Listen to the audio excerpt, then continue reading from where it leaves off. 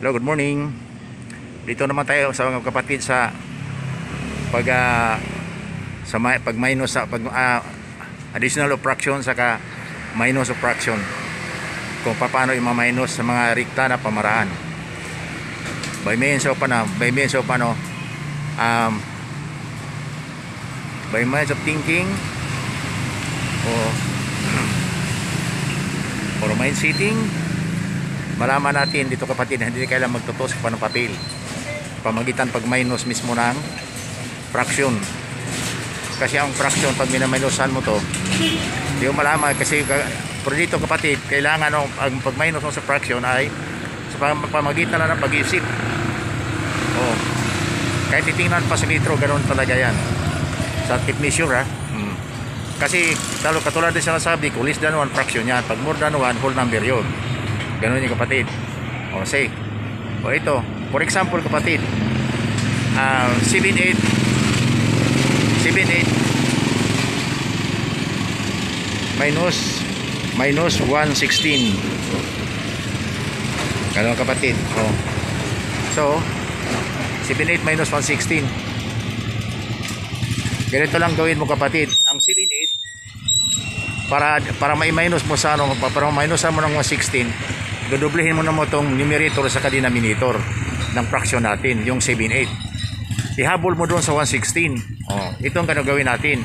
Doblehin mo yung do, doblehin mo ng doblehin mo ang 7 6 so, doblehin mo ang 7 at doblehin mo rin ang 8 so ibig sabihin 14 16 saka minusan ngayon ng 116 kaya 14 14 minus 116 14 minus 116 ay 14 minus 1 over 16 equal, equals sa 13.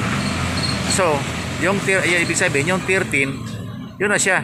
13, 16. Yun ang minus. For example naman, pag kasi po, 3 port naman, oh, dagdagan mo ng dagdagan mo na naman no, to, ah, dagdagan mo naman ng 1.8 o ito lang kapatid oh. Yung 3 port ha. Tandaan mo. Dagdagan mo ng 1.8. Okay.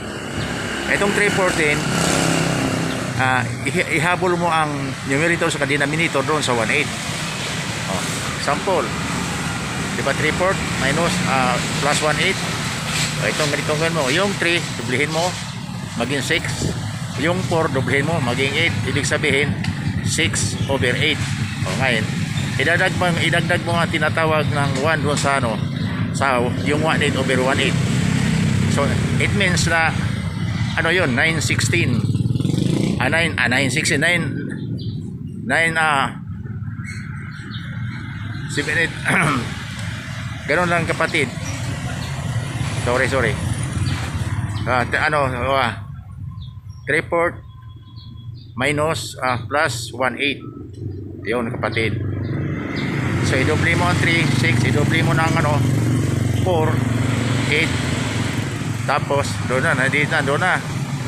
So, 6, so, 7, plus 1, 8, over 1, 8, equals to 7, 7, 8.